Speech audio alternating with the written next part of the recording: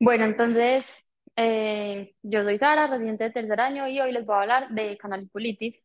Esta charla fue asesorada por la doctora Cristina González y la doctora eh, Ángela María Dolmech. Muchas gracias a las dos por la ayuda. Y la idea por la que quise hacer este tema es porque el semestre pasado, ahorita les voy a mostrar, nos llegó una paciente, pues realmente la doctora, pero a mí me tocó la cirugía de una paciente con una canaliculitis. Y me puse a leer del tema y realmente es una patología que está muy subdiagnosticada y que se confunde más del 60% de los casos, entonces por eso quise traerlo. Van a ver que las revisiones no son muy grandes porque no hay estudios pues como eh, metaanálisis o casos y controles, son la mayoría reportes de casos y casos y eh, series de casos, pero igual para que lo analicemos.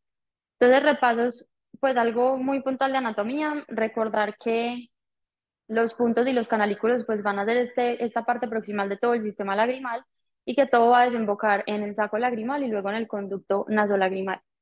Los puntos van a tener una medida de 0.2 a 0.3 milímetros, vamos a tener un punto superior y un punto inferior, el punto inferior estando un poco más lateral que el punto superior, y los canalículos es recordarles que tenemos varias porciones, entonces del punto tenemos la porción vertical que mide más o menos 2 milímetros, la horizontal que mide 8 milímetros y el canalículo común que puede medir hasta 5 milímetros cuando está presente, porque no siempre está presente. Entonces, en eso nos vamos a centrar sobre todo. Hablando como de la parte de generalidades de esta patología, digamos que los, las, pues, los sitios anatómicos de la vía lagrimal que tienen capacidad de tener infección son el saco y los canalículos. Entonces, cuando se infecta específicamente la parte de los canalículos es cuando vamos a hablar de la canaliculitis, eh, que ya les voy a mencionar pues como la epidemiología, como les digo, no son estudios pues como muy grandes, pero esto es lo que sabemos, y es que la incidencia aumenta proporcionalmente con la edad. Tenemos una máxima proporción eh, entre los 50 y los 70 años, y esto sobre todo en mujeres cinco veces más que en hombres. Esto está sobre todo ligado al uso de maquillaje y al uso de los cambios, pues, perdón, a los cambios hormonales que se dan en la menopausia, que ahorita les voy a explicar mejor. Algo súper importante y lo que les mencionaba es que el 61% de los casos de canaliculitis se diagnostican erróneamente como otras patologías que vamos a ver más adelante y que abarcan el 2% de todas las patologías eh, lagrimales en general. Esto no se tiene muy claro por qué, pero se sabe que casi un 60% de los casos afecta el canalículo inferior, en un 35% de los casos del superior, y es muy raro que afecte los dos en un 8%, sobre todo pasa como en casos severos que tienen mucho tiempo de cronicidad.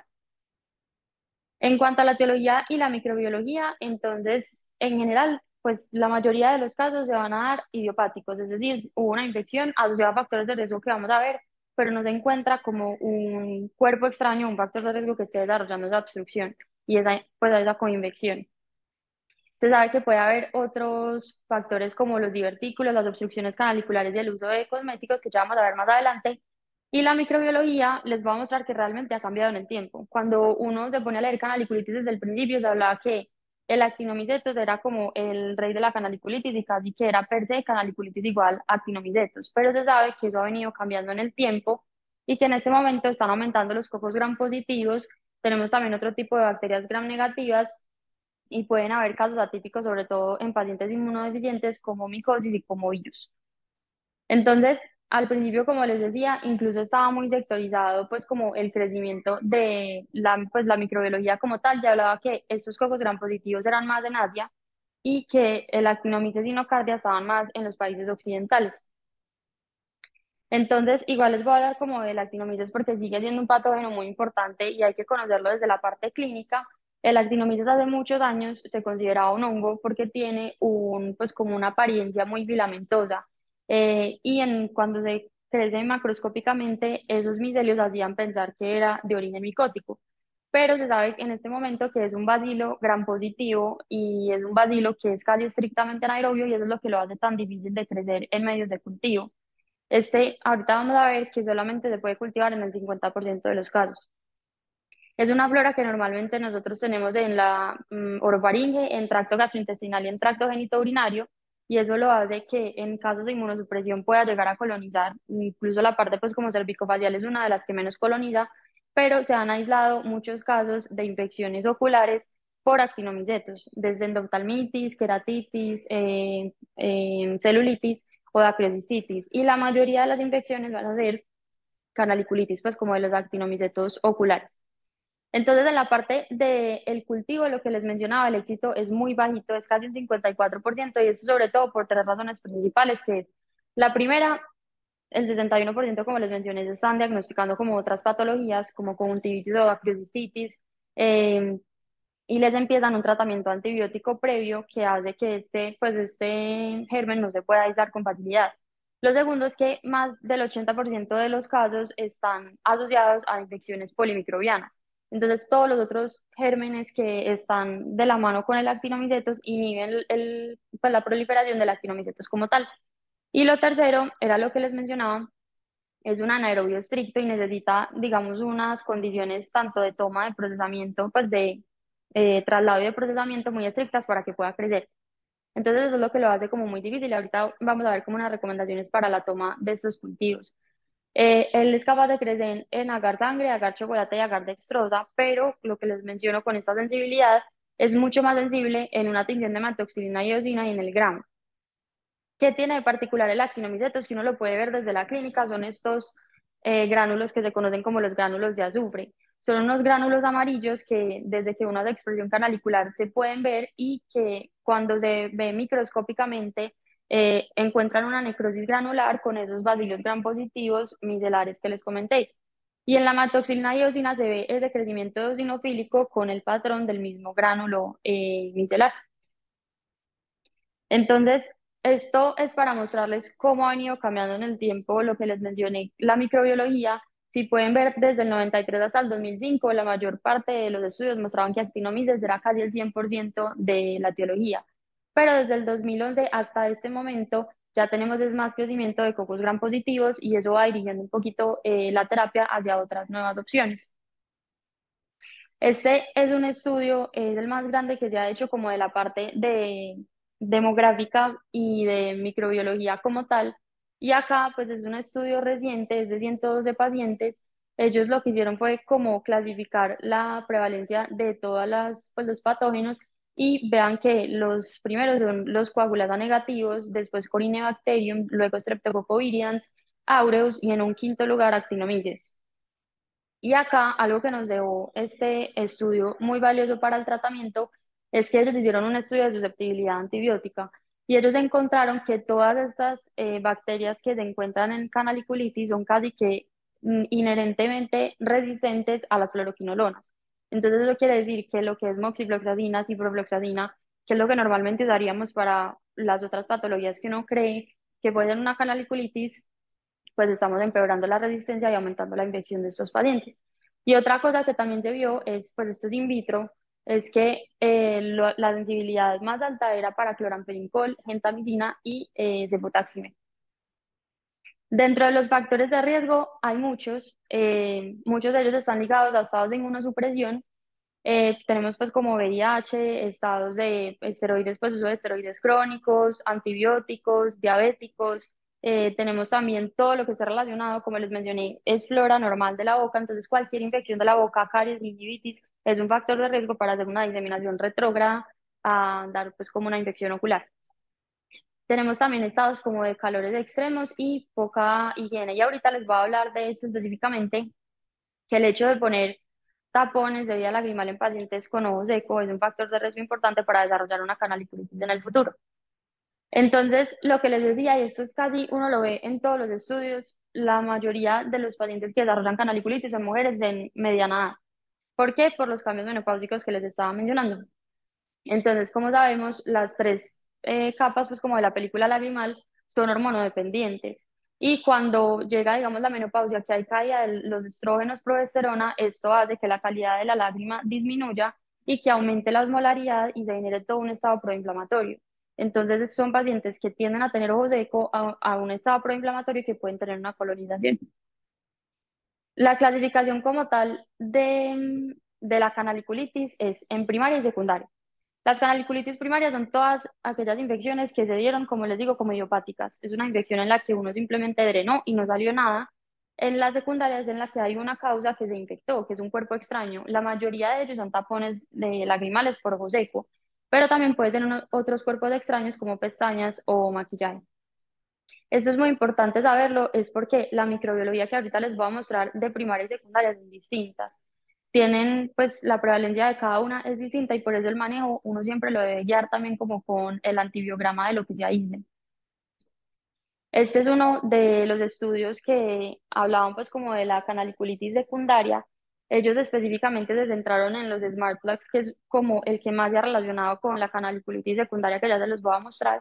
Eh, y cogieron 42 ojos de 25 pacientes y los siguieron más o menos en un tramo, pues fue retrospectivo, pero en un tramo de 8 años, eh, mirando quiénes desarrollaban canaliculitis o factores de riesgo, pues o efectos adversos por tapones y se dieron cuenta que en ese tiempo siete ojos desarrollaron canaliculitis y que tenía una prevalencia por paciente de 24% y una prevalencia por tapón de 16%. El tiempo, y esto sí en todos los estudios que vi, siendo este el más grande, pero todos coinciden en este tiempo, y es que después de poner un tapón eh, lagrimal, una canaliculitis no se da inmediatamente, se da más o menos a los 5 años. Entonces, por eso hay que seguir a estos pacientes. Y la edad media, pues que les comenté. Eh, bueno, Mm, esto es como para mostrarles que realmente los otros estudios hablan todos los tapones independientemente de su material, porque estos son de acrílico, todos tienen la capacidad de hacer eh, canaliculitis en el futuro, pero definitivamente el Smart Plug es el que más está relacionado pues como con eh, canaliculitis. Y esto para mostrarles lo que les mencionaba de la diferencia de microbiología. Entonces, en la primaria les mencioné cocos gram positivos es lo que más tenemos, pero en la secundaria acá lo que más vamos a tener es pseudomonas y propinobacterium magnes. Entonces, por eso la terapia hay que dirigirla y aislarla. Em, en cuanto a la clínica, eso es como una de las cosas más importantes. El motivo de consulta más común es la epígora, en un 85% de los casos. Eh, pero pueden tener también edema en un 32% de los casos, pero es un edema que tiende a estar en la parte medial, pues va a estar en la parte canalicular, sea superior o inferior, dependiendo del canalículo que esté comprometiendo. El dolor es muy variable, 27%, por eso no nos podemos guiar y por eso hace que los cuadros sean generalmente larvados y crónicos, que ya les voy a mencionar.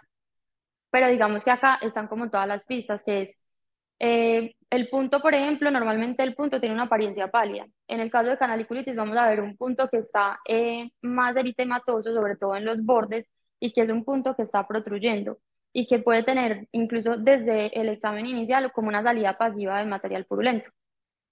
Y cuando nos vamos a mirar todo el trayecto canalicular, aquí también está como la pista que es que hay una distensión de todo el canalículo con eritema y con edema.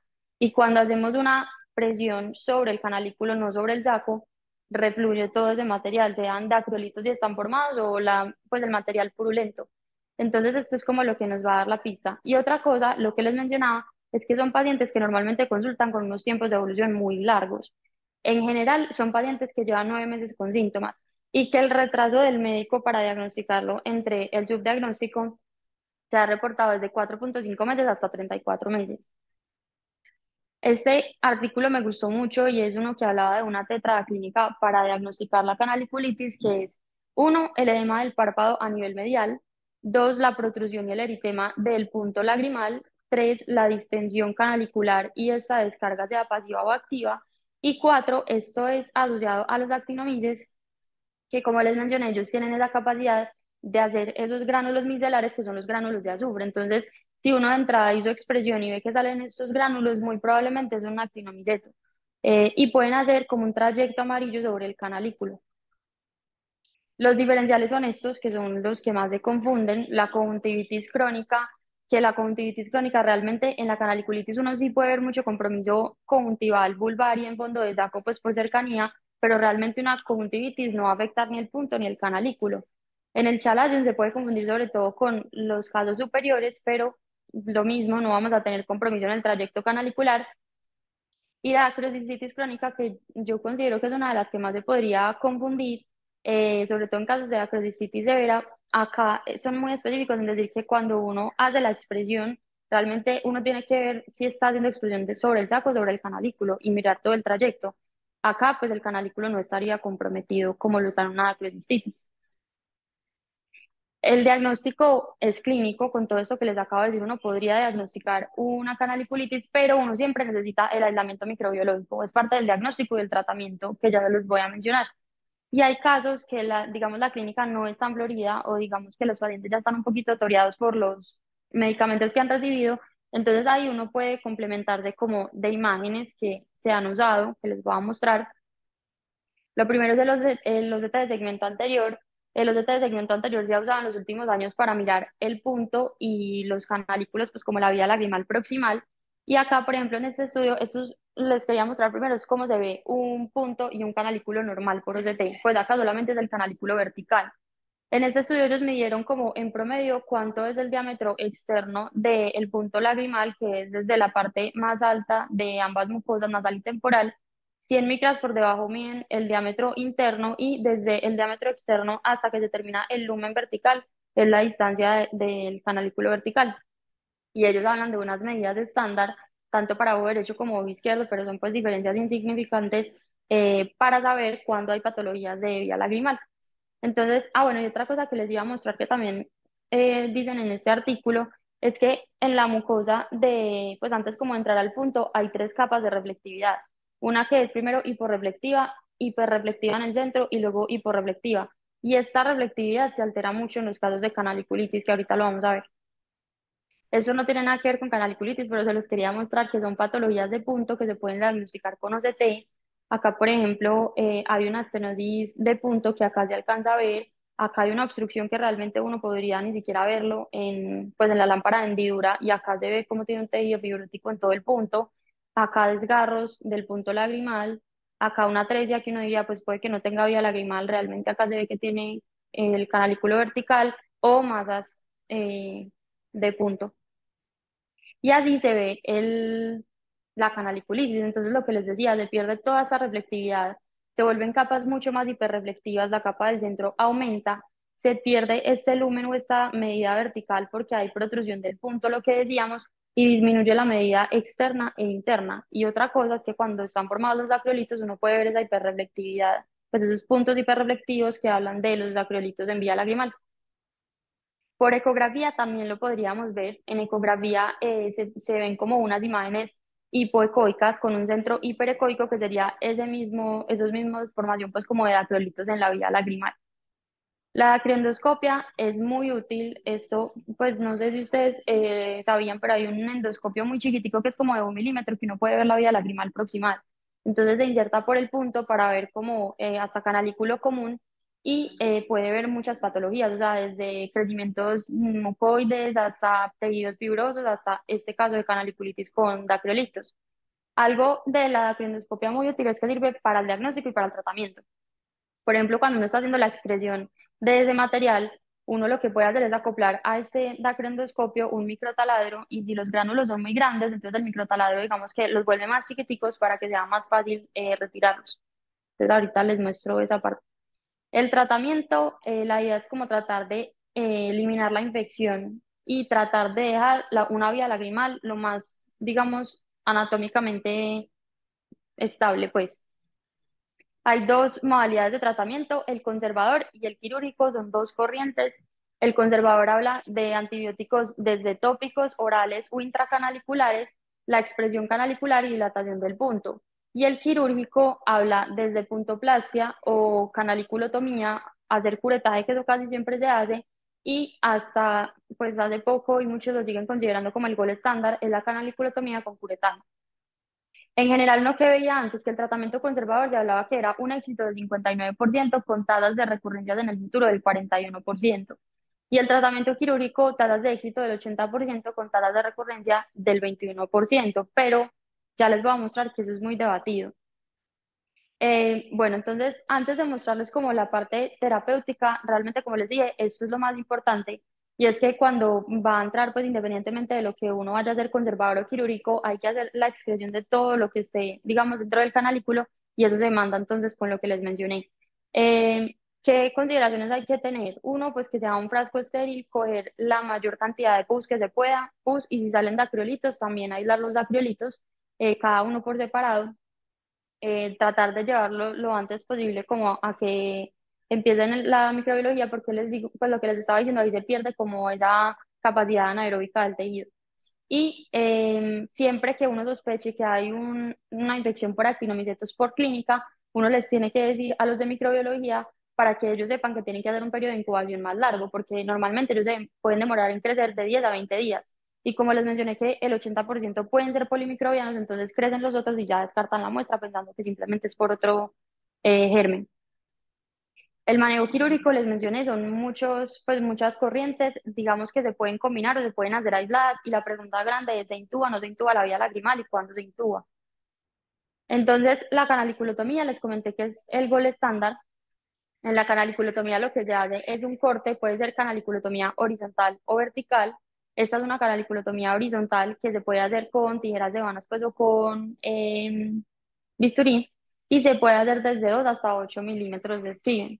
Entonces lo que se hace es abrir, puede dejar de intacto el punto o puede abrir desde el punto. Obviamente si se abre desde el punto, pues el riesgo como que haya un fallo de bomba eh, posterior es mucho más alto. Entonces se recomienda que solamente se empiece desde el canalículo. Eh, ¿Cuál es el problema? Lo que les mencionaba, pues realmente los que han ido buscando otras terapias en canaliculitis es porque hacer una canaliculotomía es el método más invasivo y crea muchos efectos adversos a futuro, como una pífora eh, recurrente en un 25% y un fallo de bomba. Esta es una canaliculotomía vertical, lo que les decía es hacer el corte, pero de forma vertical sobre el canalículo vertical, o sea, 2 milímetros, y esto disminuye esa eh, epífora que se puede presentar en los casos horizontales. Acá les muestro un videito.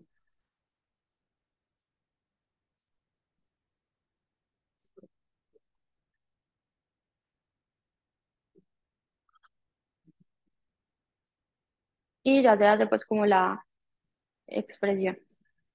Eh, entonces les voy a mostrar es como la tasa de éxito de cada eh, terapia como tal. Hablando de la canaliculotomía, pues traté de coger como los estudios más grandes de cada uno. Este fue de 40 pacientes en 15 años y ellos haciendo canal canaliculotomía horizontal tienen una resolución completa del 97.5%, pero una epífora persistente de un 15%.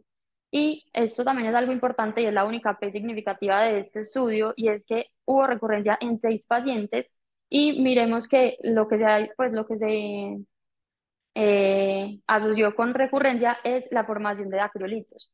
Entonces, sabemos que si un paciente de entrada tiene dacriolitos en la expresión, es un paciente que de pronto hay que darle más terapia eh, antibiótica porque muy probablemente va a ser recurrencia en el futuro. Ah, bueno, acá les iba a mostrar lo que les estaba mencionando de guiado a endoscopia. Acá, como ven en el video, hacen una canaliculotomía horizontal y uno pues pensaría como macroscópicamente que ya se sacó todo el contenido pues de los acreolitos. La endoscopia ayuda a mirar si quedan como residuos porque ellos se hacen pues como en las paredes del lumen del el canalículo para que no se cree ese riesgo de recurrencia en el futuro. Entonces, acá también pues lo asocian con curetaje y ya van a ver que cuando insertan el, el endoscopio se ve que todavía hay una parte de acreolito adentro que no se había podido ver clínicamente.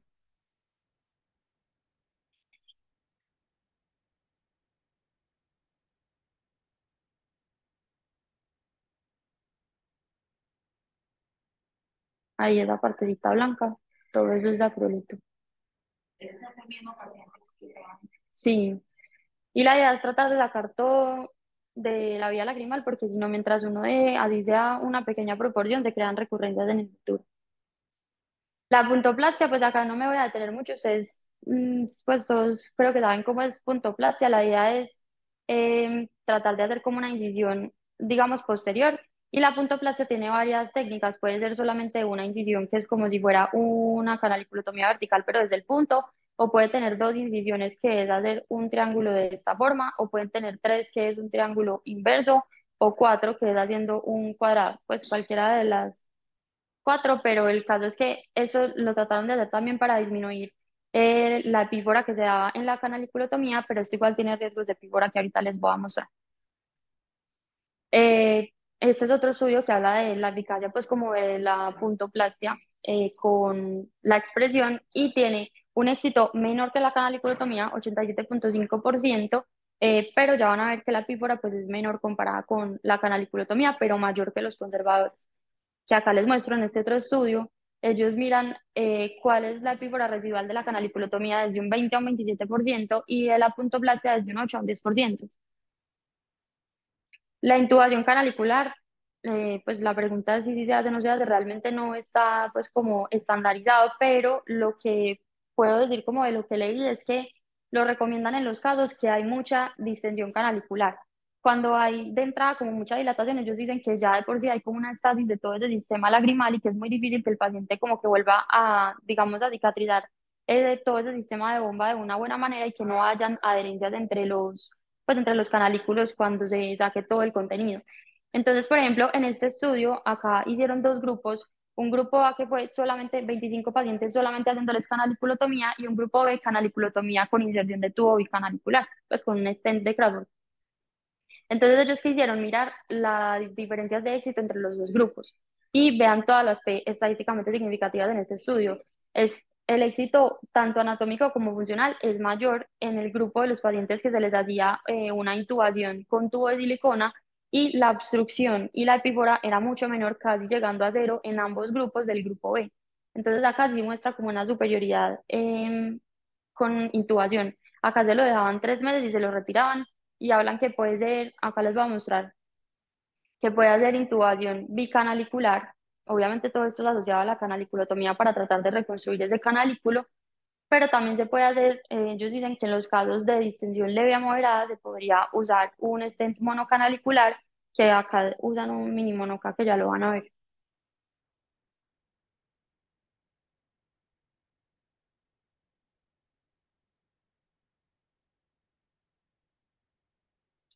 Y después de hacer la canaliculotomía, son los de los días ahorita, realmente dicen que se puede o se puede no suturar, es a decisión pues como del médico. Y el manejo conservador, entonces también acá les muestro, esto es simplemente el estudio haciendo dilatación de punto con eh, expresión pues como de todo el contenido canalicular y curetaje. Este, eh, pues este es reciente, son 53 canalículos y lo que pasó en este estudio es 14 de los 53 canalículos les tuvieron que hacer este procedimiento dos veces y uno de esos 53 tres veces, pero finalmente a seis meses tuvieron una curación del 100% con una epífora residual de 4%. Y acuérdense que la puntoplasia hablábamos de un 8 a un 10 y la canaliculotomía de un 20 a un 27. Entonces realmente es mucho menor. Los esquemas, esto es basado en pues todo lo que puede leer, realmente lo que les digo, esto no está estandarizado, pero eh, lo que se recomienda es, pues uno, lo primero es, en los casos de canaliculitis, los antibióticos orales y los antibióticos tópicos no sirven para nada porque mientras uno no saque todo ese contenido, pues simplemente el antibiótico no va a penetrar la vía lagrimal. Entonces se sabe que los antibióticos tienen que ser intracanaliculares, se puede ayudar de tratamiento tópico, pero después de que ya se hizo la cirugía pues, o, el tratamiento conservador con irrigación intracanalicular. Y lo que recomiendan es, para lo que les menciono que son más focos gran positivos y que eh, tenemos el actinomides que igual sigue siendo una proporción grande, la penicilina cristalina podría ser la primera opción empírica, que es 100 eh, mil unidades. Más o menos eh, decía que se puede instilar a 5 cc, dependiendo de lo que uno eh, vaya viendo también en cada paciente, pero hay otras opciones que se pueden usar de entrada, como amoxi, ampi, eh, doxiciclina, clindamicina o eritro. Hablaban también de solución yodal 1% o cefazolina fortificada, y lo que sí son muy claros es que en los casos de actinomicetos, pues en general, incluso sistémico, ellos recomiendan que la terapia se quede a largo plazo. Entonces, cuando hablan de infecciones eh, sistémicas, son hasta seis meses, y en los casos de canaliculitis se debe dejar un tratamiento por seis semanas, que puede ser, ya luego de hacer todo este tratamiento, penicilina oral 2 gramos al día, eh, o se puede reemplazar por amoxicilina o doxiciclina. Que es súper importante esto que les menciono y tenerlo muy en cuenta, estas eh, bacterias, pues como en canalículos, son inherentemente resistentes a, a fluoroquinolonas. Entonces, lo que es moxicipro, descartadas, y incluso cefalexina y vancomicina no tienen muy buena respuesta. Esto basado en estudios in vitro. Eh, si tenemos aislamiento de micosis, se puede usar nistatina y también se ha hablado de trifluorotimina en casos de virales. Esto es un estudio para mostrarles la efectividad del conservador. Acá les hicieron irrigación intracanalicular con cefazolina Acá sí usaron cipro eh, coadyuvante con, o con cefazolina, pues fueron 5 y 9 pacientes y ellos demostraron que, pues, ah, bueno, esto no se los dije acá. Lo que se recomienda en este esquema es, uno em, empieza el tratamiento intracanalicular, revisa al paciente a las 48 horas y si el paciente sigue eh, pues algo con, con, algo de compromiso, nuevamente se ingresa para hacerle el mismo, pues la misma irrigación intracanalicular y ya se deja después esto. Entonces, Esto fue lo que hicieron en este estudio cada 48 horas y ellos vieron la necesidad por promedio, pues en promedio de hacer eh, intracanaliculares de 4.5 veces por paciente. Y este me pareció, la verdad, muy interesante, que es la irrigación intracanalicular con antibióticos. Usaron incluso los que, pues de entrada no se recomiendan, pero los usaron en una forma de ungüento. Entonces los ponían en una jeringa y los pasaban de a poquitos y también cada 48 horas, según el paciente como fuera evolucionando, volvían, extraían lo que quedaba pues como de, de contenido pues de lo que habían inyectado del ungüento y volvían a hacer otra vez. Acá también lo hicieron 4.2 veces por paciente y una eficacia del 100% igual que la anterior. Complicaciones que están reportadas en la literatura, desde keratitis infecciosas cuando no se trata pues como de forma oportuna, perforaciones corneales y acá yo les quería mostrar la particularidad de la perforación, casi todas son eh, inferiores y mediales, o sea, cercanas pues a donde está todo el contenido pues infeccioso. Y las fístulas canaliculares, que acá como pueden ver, hay una fístula canalicular posterior. Esto es muy típico de los pacientes con actinomicetos. Ellos tienden a tener fístulas en cualquier parte del cuerpo cuando colonizan. Entonces también es otra pista como para sospecharlo desde un principio. Y bueno, ese fue el paciente, fue una paciente de 81 años. Ella realmente había consultado donde otros dos oftalmólogos eh, primero y ella se venía quedando de una piborada ya dos años. Cuando la vieron primero, eh, le diagnosticaron una estenosis lagrimal y una conjuntivitis severa y le empezaron un tratamiento con Vigamox y doxiciclina.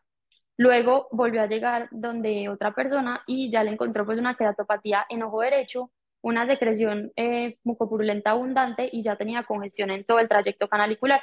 Diagnosticaron una acroticitis crónica severa con reacción conjuntival, suspendieron los medicamentos que tenía y empezaron una sultamidina y le mandaron valoración por plástica ocular y ahí fue cuando le llegó a la doctora Cristina.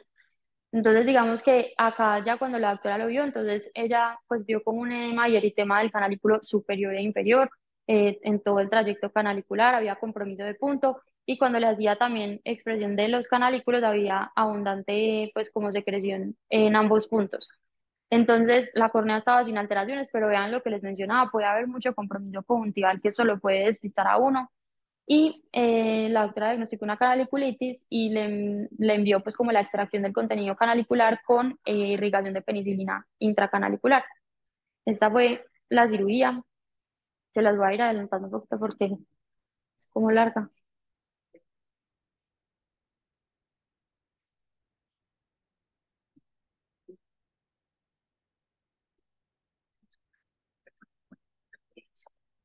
Cierto. Es muy rico. A mí también.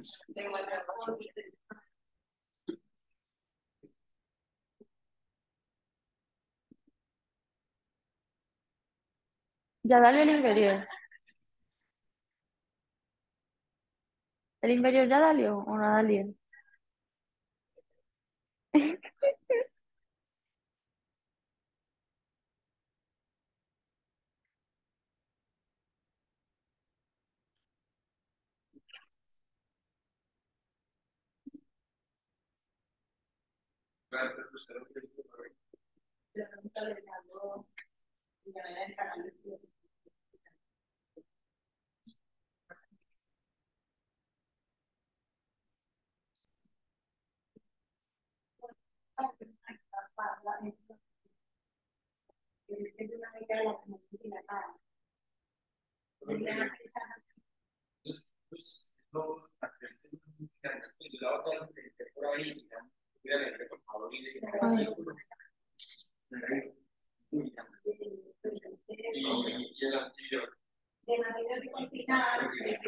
Ya, ahí les voy a mostrar.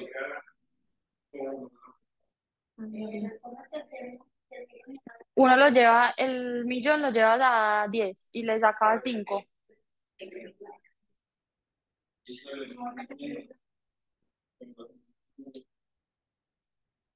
Acá, lo que estabas, Dani, lo que estabas preguntando acá.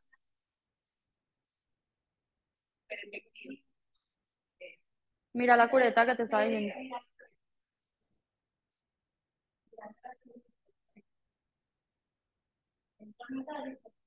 Es que yo la otra vez, yo he tenido como tres pacientes yo tenía 20 años, mucho, y el problema es que está en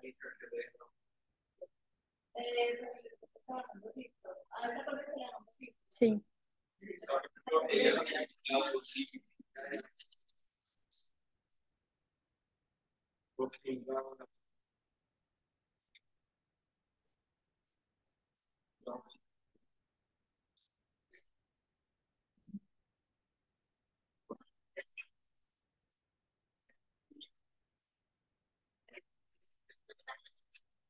sí, ¿verdad? Sí, exacto. Eh, bueno, y al final la doctora ha leído entonces la irrigación de penicilina, todo eso que vieron que se extrajo, se mandó a cultivar. Y este es el reporte de microbiología que decían que los fragmentos eh, correspondían a un material necrótico. Esto no se los dice, eso también es súper característico, o si se los digo, no me acuerdo. Microscópicamente de el actinomides que tiende a tener una necrosis con un crecimiento, lo que les mencioné, micelar, de un, pues de eh, bacilos gram positivos. Esto fue lo que vieron en la parte microscópica y por eso dijeron que era muy sugestivo de los gránulos de eh, actinomicosis. Y bueno, como conclusiones, entonces, uno, la tetrada clínica que les mencioné, el edema del párpado medial, protrusión y eritema del punto, la distensión canalicular eh, y secreción, y los acrolitos que si tienen esa característica de gránulos de azufre, sospechar que sea un actinomiceto. El tratamiento, ya les mostré, realmente, como les digo, no está estandarizado que haya eh, algo más efectivo, pues o casos y controles entre quirúrgico y conservador, pero lo que vieron de todos los estudios, la tasa de éxito de los tratamientos conservadores es muy alta. Y eh, lo que estaba diciendo la doctora Mónica, o sea, realmente acá también dicen que eh, si uno pues le hizo la primera irrigación y el paciente no salió, pues vuelva y hágale otra irrigación antibiótica y así para cuidarle la vía lagrimal y tratar de no hacerle una canaliculotomía. Y lo tercero es lo que les mencioné, siempre hacer el cultivo microbiológico y si después uno ve que es un germen que además tiene alguna resistencia que uno usó, pues volverlo a irrigar con lo que sea sensible. Esto es un algoritmo que vi en uno de los, de los artículos que me pareció interesante, también como para tener en cuenta, y es que ellos dicen, si lleva un cuadro de evolución menor de seis meses, hágale tratamiento conservador. Si lleva más de seis meses o es una canaliculitis recurrente o ya se diagnosticó como pues mal con otra patología y está siendo tratada con, con otros antibióticos resistentes, hágale, pues le puede hacer un manejo quirúrgico con canaliculotomía y la misma irrigación eh, de antibiótico-terapia intracanalicular. Y ya eso era lo que les traía.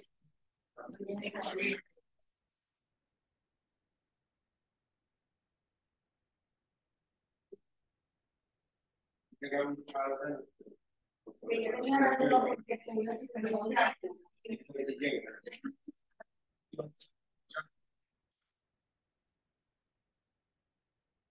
Yo quiero